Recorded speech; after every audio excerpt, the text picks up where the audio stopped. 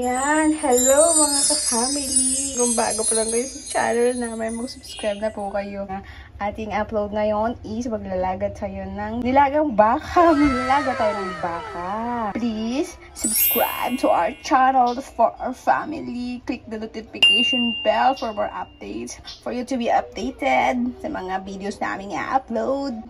Maglalaga tayo ngayon ng baka ulam natin. Masarap ang nilagang baka na may buto-buto. Ayan. At ayan nga. O, nakikita nyo yan. Ako, ito talaga yung pinaka-paborito ko dito eh. Kaya gusto ko pag naglalaga ako ng baka, meron ganito. Yung bonaro. Ito. Ayan. Yan ba yung tawag dyan? Ayan, o, pag naluto yan, talagang, ayan, ayan, ayan, ito yung part.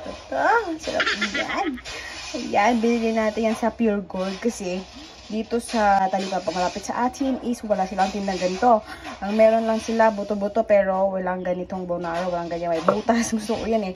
Kasi uh, yung, yung sa loob na yan, ako mali naman talaga yung Napakasarap. Tsaka, ayan, meron lang sila dyan mga laman-laman. Pero ito, dalawang peraso lang to na ganito, buto-buto, ayan, na aking binili is nagkakahalaga na yan na 300 plus something ganyan. Kasi mahal na rin ang kilo kasi ng baka ngayon. Oh so, ayan, tara, umpisa na natin sa paglalata. Ano nilagang baka para mamaya masarap ang ating higop. Ito na rin ang ibang ingredients na i-ready na ng aking mother. Siya na nag-ready niyan. Prepare niya na yan. Ano ba to mother? Ang ito naman na itong beans? Oh no! Paano kasi hindi siya mahilig sa gulay? Inano niya yan. Talagang nilitan niya para makain ng maayos. So, ito na yung patatas. Ready na yan. Ready na. Ayan, nilagay na natin. Kailangan pagpakulo natin, lagyan natin yung sibuyas, luya, at saka ang bawang. Lalaka talaga yung hiwa ko dyan. Ayan, tapos lagyan natin yan ng kaunting tubig. Yung para siguro, siguro mga hanggang dyan lang. Maliit kasi yung ating pressure cooker. Maliit lang. Ayan, dito ko lang siya pinapalambot. Pero pag sasabawan ko na, nililipat ko sa malaking kaserola. Ayun, ano lang yan siya, yung ating pressure cooker na gagamitin is 3 liters. Ganyan lang siya kaliit. Mas matangkad pa yung palad ko, di ba? Oh, no! Ayan lang siya. Yan, dapat lagyan na rin natin ng asin. Yan, asinan na natin siya daan.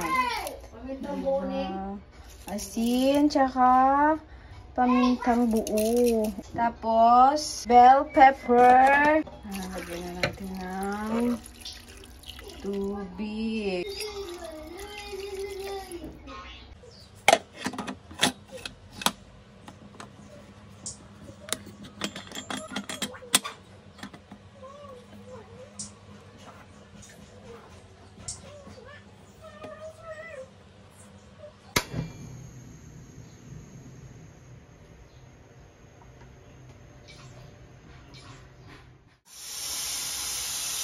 Bigyan mo naman siya.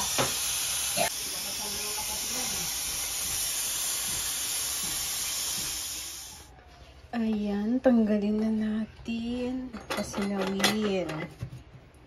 Open. Oh! Oh no! oh no, what happened? Natuyo. Siguro sobrang, sobrang lambot na yan. Kasi natuyo yung sabaw niya. Can I taste it? Halang, sarap! Kamalasan na siya kasi 'di ba kanina bago natin pinakulo na eh. Lagay na tayo pang timpla. Wow! Lambot na siya pero gusto ko pa mas malambot. Kaya lalagyan ko pa ulit siya ng tubig. Pressure cooker! Sorry ha! Kasi natuyuan ko ng sabay. Yan. Pero mamaya malinis naman yun. Ibabad lang natin yan. Yan. Lagyan pa ulit natin ng tubig. Ano nga pala yan? 30 minutes na siyang kumulo.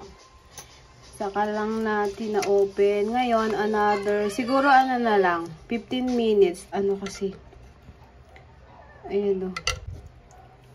Ayan. Dito na mamaya tanggalin yun. Paanuhin pa natin to. Kuluin pa natin. Para mas malambot siya, mas masarap. Pakulo lang natin siya ng, pakulo lang natin ng at least 20 minutes lang. O, oh, diba, diba?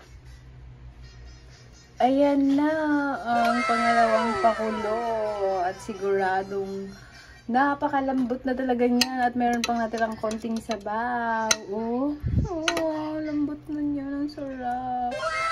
Wow. Oh, sabawan na natin yan dito sa malaking kasirola. Matagal na to eh, kaya ganyan na itsura niya. Huwag niyo i-judge. ano daw? Sasabihin mo.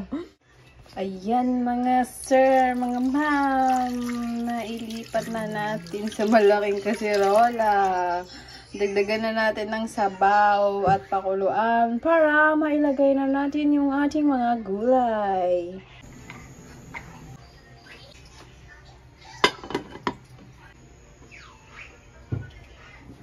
Tada! It's boiling now!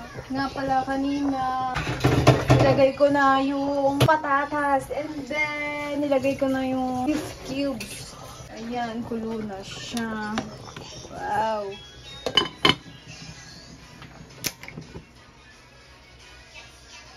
Yan, ready na yan mamaya. We're done! Mamaya eating time. Yan, yan lang yan.